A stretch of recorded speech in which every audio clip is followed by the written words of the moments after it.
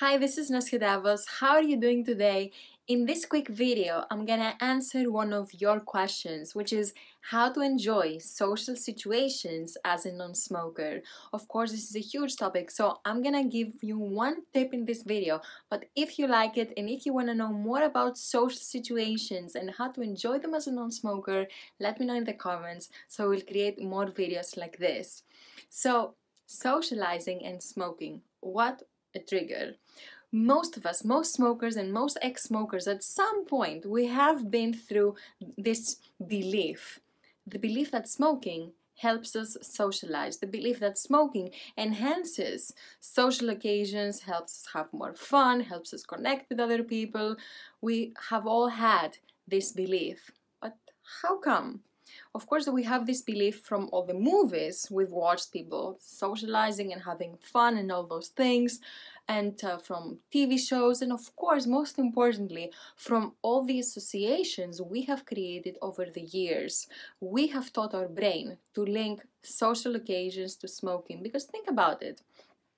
If you have been smoking all your life, every time you were socializing or you had a great conversation or you were laughing or you met an amazing person or you connected with someone, if smoking was present in all those moments, you actually trained and taught your brain that to associate smoking with those happy moments and your brain now thinks that the one cannot exist without the other. And that's why you probably have the belief or the worry that without smoking, you're not gonna enjoy social occasions anymore, social occasions are not gonna be fun, or maybe that you are not gonna be fun anymore. But of course, these are just beliefs, okay? And again, I'm gonna show you one tip to start changing the script and start enjoying social situations as a non-smoker. And Here's why this is important. This is for you if you have already quit smoking and you are about to enter a social occasion. And of course, this is for you if you are in the process of quitting smoking and you're currently preparing. So even if you haven't quit yet, I encourage you to experiment and go to a social occasion and act as a non-smoker using the tip I'm gonna share in this video. Okay, so let's get to it. Smoking, of course, used to be very social. Why? Because everyone was doing it back in the day and it was allowed everywhere. Hospitals, trains, planes, literally everywhere. But now, we don't live in this era anymore. Now we actually have a lot of information about smoking, undeniable evidence of how harmful it is, and now smoking is antisocial because You've probably encountered situations where someone was annoyed by the cigarette uh, smell, or maybe you have felt self conscious. I know I have. And you don't want other people to smell the cigarette on you, especially people you don't know. And of course, more and more workplaces and more and more socializing places don't allow smoking anymore. Many times our members tell us that they go to a theme park like Disneyland and they have to walk and walk and walk to find a place where they can smoke. So basically they, they're either dragging everyone around to find a smoking place or they have to separate and miss happy moments so they can isolate themselves and go find a place to smoke. And of course this is an example. There are many variations that this kind of thing happens in our lives that we have to isolate and miss happy moments so we can go smoke. So how can something that's supposed to be social takes you away from all the fun? There's, some, there's more to the story, right?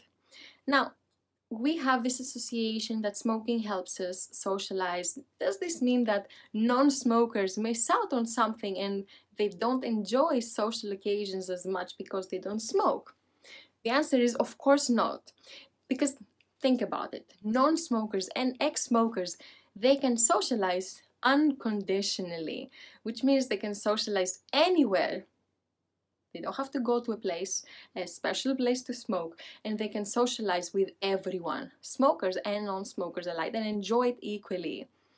So non-smokers actually help non-smokers are actually more able to enjoy social occasions than smokers because smokers the thing is that smoking doesn't enhance the social situation. Smokers they're just not able to enjoy social occasions if they don't smoke So it's a condition. Smoking is a condition to enjoying a social situation. Of course, this is a huge barrier. Now, what about occasions that involve other smokers where it probably feels acceptable to smoke there, or even worse, you may feel like an outcast or isolated if you don't smoke. So, how can you enjoy being a non smoker in those situations as well? So, I'm gonna share with you one tip, and this tip has to do with how you talk to yourself. Bear with me, it's actually very, very practical because Here's the thing our thoughts affect our emotions, and our emotions affect our behaviors. For example, if I tell myself, oh, You're weak, then I'm gonna feel weak and I'm gonna behave as if I am a weak person. Or if on the contrary, I tell myself you're you can do anything, then I'm gonna feel empowered and I'm gonna behave differently because our thought affect our emotions and our emotions affect our behaviors, but it all starts with our thoughts. So I'm gonna zoom in to the thoughts part because it is so very important. So zooming in into the thoughts part, our brain and the way our brain thinks, our brain is like Google Whatever you ask it, it's going to give you a list of results, a list of answers. For example, if you ask yourself, why do I have to give up all the fun? Your brain is going to tell you why you have to give up all the fun. If you ask yourself, if you tell your brain, uh, it's not gonna be fun, I will hate myself, why can they smoke and I can't? Your brain is going to tell you why.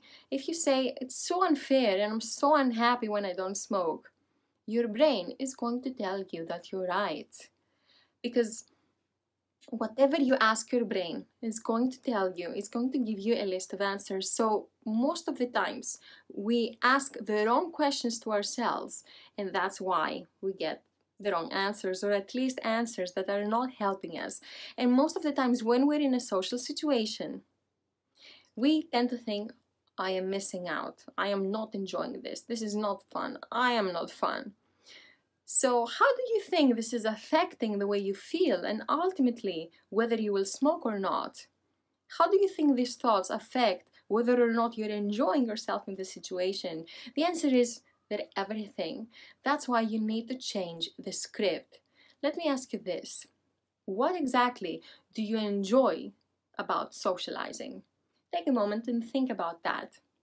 Maybe it's the laughs or the fun or the connection or seeing people you love. What do you enjoy about socializing? And whatever your answer is, you're going to see that it has nothing to do with smoking itself. Nothing. The reason smoking feels part of social occasions is because of all the associations, because you are used to smoking in social situations, because you just don't know how to be a non smoker in social situations yet. Okay? So, our brain is like Google, like we said, and the answers you and the answers you're gonna get from your brain have to do with the questions you ask yourself. That's why asking yourself questions that start with how, how can I do this? How can I do that? They open up your brain to endless possibilities, open up the creativity in your brain. So next time you're in a social situation, ask yourself, how can I have the most fun right now? Or how can I bring joy to my friend? How can I bring joy to the person sitting next to me? Or you can ask yourself, what would a non smoker do right now? How would a non smoker enjoy this situation? Or if I had never smoked in my life, how would I enjoy this situation? What would I need to do to enjoy this occasion? Or what do I need to remind myself so I can feel proud I am a non smoker? So the, your brain is the most powerful machine. If you ask the right question, it will find many answers that you can choose from and many answers that work because they come from you, of course. So the other thing I want to answer is when you're gonna start enjoying social occasions after you quit smoking because this is sort of part of it and it's important. So like we said, you have created certain associations with smoking because you're used to smoking in social occasions, okay? So the thing is that you have taught your brain to expect a cigarette when you are in certain social situations. And how can you reverse that? Well, whatever the brain learns, it can unlearn. Whatever you have programmed your brain to expect, you can reprogram it. How does this work? Well, every time you're in a social situation and you don't smoke and you feel great and you're enjoying yourself in that situation, you're actually giving new information to your brain and you're telling your brain, hey, look at that, rewrite the script. I'm actually not smoking here and I'm enjoying it. And by doing that frequently, you're actually reprogramming your brain to stop expecting a cigarette in social situations. So, to answer the question when you're going to enjoy social situations as a non smoker, is the more times you actually encounter this trigger and conquer it and show your brain that hey i'm enjoying this and you don't have to remind me of smoking anymore. So the more you expose yourself to this the faster you're going to start enjoying social situations as a non-smoker. But like we said an important component is to enjoy the situation not feel horrible and say oh my god i'm feeling so deprived because this is actually giving the wrong message to your brain.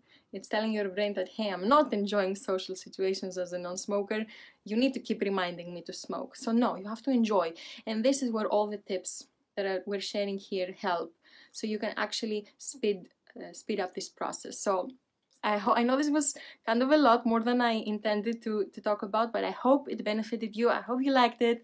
Let me know in the comments if you want to know more about social situations, and I will see you in the next video.